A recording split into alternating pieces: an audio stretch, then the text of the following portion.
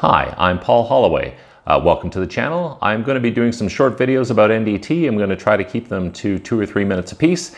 And uh, the first one is going to be about ultrasonic pen probes. So the first thing you're going to want to do is make sure that you're using the right delay line. This is a 10 megahertz Dakota pen probe, and the lines on the tip of the probe are spaced slightly further apart than they are on a 15 megahertz probe. So make sure that you're using the right tip. So on the instrument, make sure the velocity is set properly, and then take your zero offset or wedge delay and turn that right down to zero. Then take your range and increase that to about three, and that will allow us to see multiple echoes off of the pen tip. Now, take your zero offset and increase that so that the first echo off the pen tip goes down to around the zero mark on the screen. Now let's take our range and turn that down.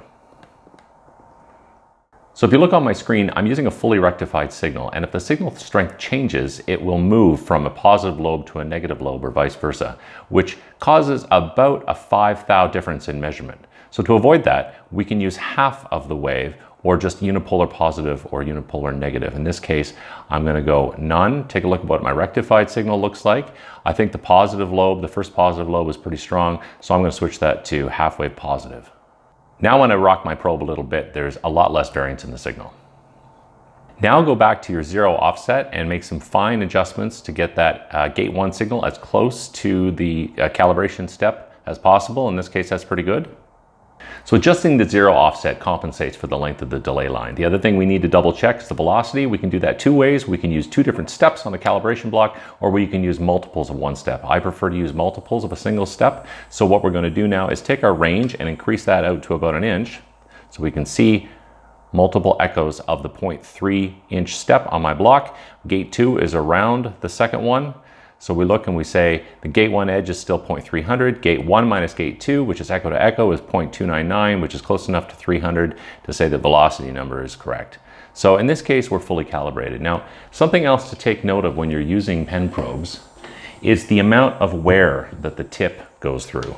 So right now, this is a 0.375 plate. If I put the probe on the plate, it measures about 0.372, so that's fine.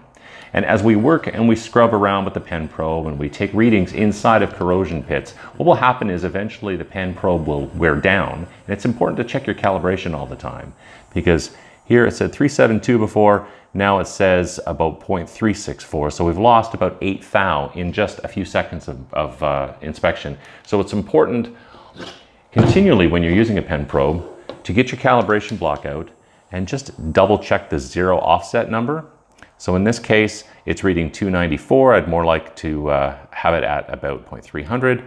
So I'm going to decrease the zero offset value to increase the gate one reading. And now we're, we're back to calibrated. Those are just a few tips on using pen probes. On later videos, I'll talk about thickness testing in more detail. And uh, thanks for watching.